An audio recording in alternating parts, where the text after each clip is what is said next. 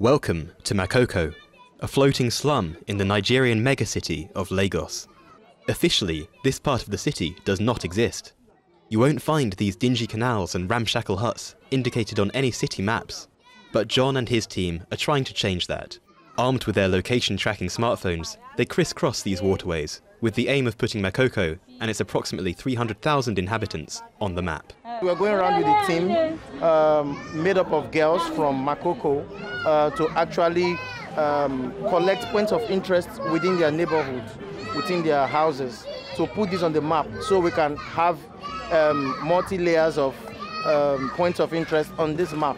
So we can see the streets and have easy navigation, and um, all of this can be on the map for free. John works for South Africa based NGO Code for Africa, the organisation behind this drive to map out the slum and improve the lives of those who live here. Every point of interest is carefully entered into the system, like Watanabo, a floating barber shop. So we're putting your barbing salon on the map. Yeah, to be part of the points of interest that people will see. When they look at Makoko map, they will see Watamabo.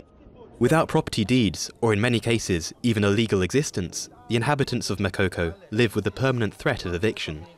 For this local traditional leader, appearing on a map for the first time is a step towards cementing his people's place here.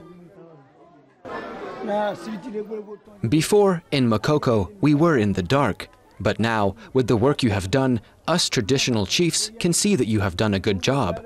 We are only fishermen. We didn't know how to mark out the different neighborhoods. We are very happy. John believes that the inhabitants of this part of the city should have access to the same knowledge of their neighbourhood enjoyed by those who live elsewhere in Lagos. All of this, we are still working on it. And when we are done, it will look like the rest part of Lagos here, where you can see streets, you see different places. The public will now be able to see this neighbourhood differently as the map is ready to go online.